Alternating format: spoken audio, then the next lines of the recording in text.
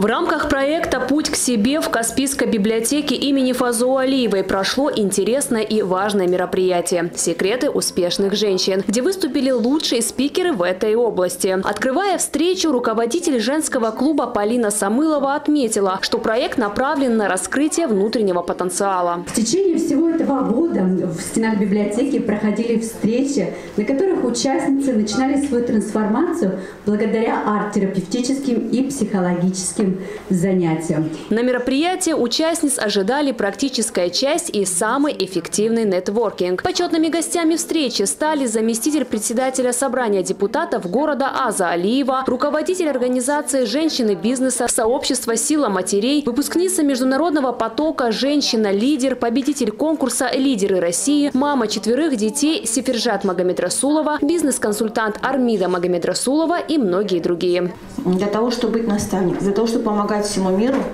надо быть самим прежде всего в ресурсе. Что может дать пустая чаша? Ничего. И когда э, есть такие ситуации, когда женщина хочет помочь всему миру, а, а до себя руки не доходят. Было у вас такое, что мы хотим спасти всех на свете, а сами не допускайте этого, девочки, потому что выгорание. Да, у вас в первое время вам будет классно, что вы спасаете весь мир – хотя я сама такая, грешу этим, но не забывайте о себе красивых. Игропрактик, арт-терапевт, создатель авторских украшений на раскрытие способностей Татьяна Колобухова рассказала девушкам о своем пути к успеху и о переломном моменте в своей жизни. По тернистой дороге к внутреннему спокойствию и удовлетворению она пробовала себя во множествах профессий и проходила нелегкие жизненные ситуации. Я поняла, что то окружение, которое есть на данный момент – оно не совсем э, меня как развивает. Я 10 лет проработала на швейной фабрике, то есть я швея по жизни. И в этот год я сделала такое, приняла решение, что, наверное, что-то нужно с, этой, с этим делать. И ушла, и начала поиски себя. Также с 2012 года я и офис-менеджером работала, и в ломбарде работала, где я только не работала.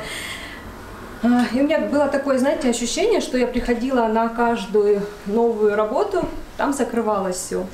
Я думаю, что ж такое, какая-то как неудача, одна за другой идет.